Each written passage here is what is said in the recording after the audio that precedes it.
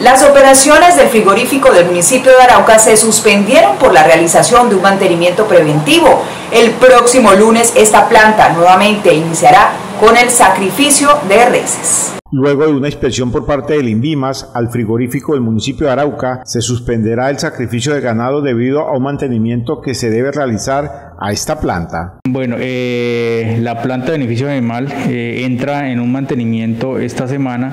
eh, para hacer un tema de adecuaciones rutinarias que exige el INVIMA, que es la máxima autoridad sanitaria.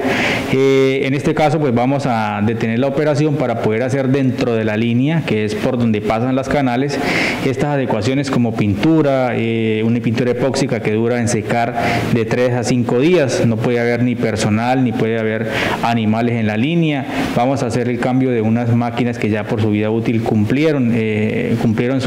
eh, sus años de trabajo, entonces por estas indicaciones y por estos trabajos que vamos a hacer, paramos la operación durante una semana para poder renovar y volver la próxima semana prestando el beneficio, el sacrificio normal de los animales. El secretario de Agricultura Municipal de Arauca, Cristian Anave, manifestó que es totalmente falso que el INVIMA haya cerrado el frigorífico de la capital araucana. Claro, cuando hablamos de un cierre definitivo, hablamos de que ponen un sello y la planta, eh, como bien dice la palabra, queda cerrada. Ahorita se suspenden operaciones para hacer unas adecuaciones normales que pide el INVIMA a cualquier eh, planta procesadora, a cualquier planta que tenga que ver con animales, con animales, mientras se hacen esas adecuaciones y volvemos a renovar apenas eh, estén listas la próxima semana, Dios mediante, con todo el trabajo de la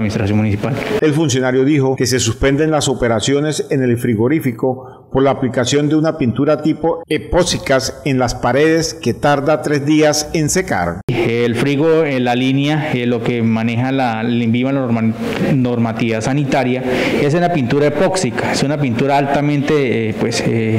que huele, altamente contagiante, la cual debe permanecer de 3 a 5 días quieta. Sabemos que el frigomatero funciona totalmente con agua y se lavan sus paredes, entonces por eso debemos dejar quieta la línea de 3 a 5 días para que ella se seque, no haya el cual se pueda pues, afectar la salud de los operarios y podamos tenerla lista para la próxima semana. El jefe de la cartera agropecuaria confirmó que el pasado viernes se sacrificó suficiente animales con el fin de poder suministrar carne durante esta semana. Claro que sí, el día viernes fue bien surtido el municipio de Arauca. El plan B es el frigomatadero para quienes deseen, los ganaderos que deseen el frigomatadero, el, el matadero de la ciudad de Saravena, eh, el cual está acto también por el INVIMA para que puedan sacrificar sus reses. Importante, invitar a la comunidad a que no, eh, eh, no tengamos de pronto falsas noticias, invitarlos a que podamos también esta semana poder consumir algún tipo de, otro tipo de proteínas. Es la invitación de la administración municipal, mientras dejamos en las condiciones eh,